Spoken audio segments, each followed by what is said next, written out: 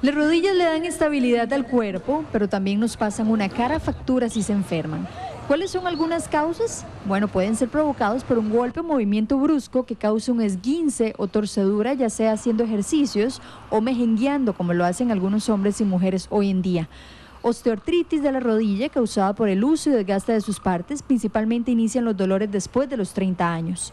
Algunas enfermedades reumáticas, tales como la artritis reumatoide y el lupus, pueden causar problemas de inflamación en la rodilla, lo cual puede causar daño permanente a ellas. Es porque la persona no está adecuada para realizar ejercicio y es una sobrecarga de ejercicio, o no tiene un entrenador, no fortifican bien los músculos previo a hacer ese tipo de actividades y entonces se ponen a hacer actividades fuertes y ahí es donde producen lesiones.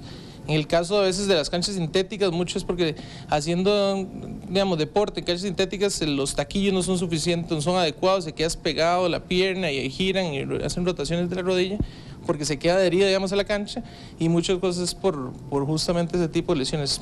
El equipo que no es adecuado, musculatura que no es adecuada y también a veces el sobrepeso, ¿verdad? Obviamente. A sus 52 años, Jorge se enfrenta a su primera cirugía ambulatoria en el Hospital del Trauma, una artroscopía en su rodilla derecha, un procedimiento que le devolverá la salud a la rodilla que sufrió una lesión mientras él trabajaba en Jaco.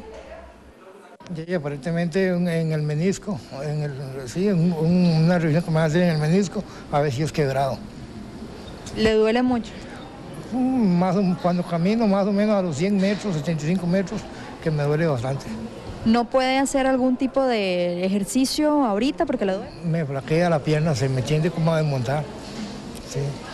Uno siempre en todas las articulaciones tiene una superficie, digamos que la de contacto, que es la articular, que se llama eh, cartílago. Y eso con el pasar del tiempo, todas las personas vamos desgastando. Más o menos después de los 30 años empieza a haber un desgaste progresivo.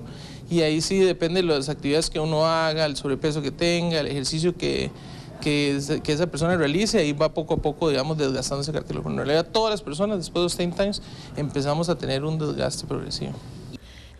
Hay otras partes del cuerpo que ayudan a las rodillas a cumplir con su función. Estas son los huesos, los cartílagos, los músculos, los ligamentos y los tendones. Muchos problemas de las rodillas se pueden prevenir si se hacen ejercicios de calentamiento, caminar, estirar, evitar los cambios rápidos en la intensidad de los ejercicios, aumentar poco a poco la fuerza, duración de las actividades, usar zapatos que le entren bien, que estén en buenas condiciones y mantener un peso saludable. El exceso de peso aumenta la presión en las rodillas.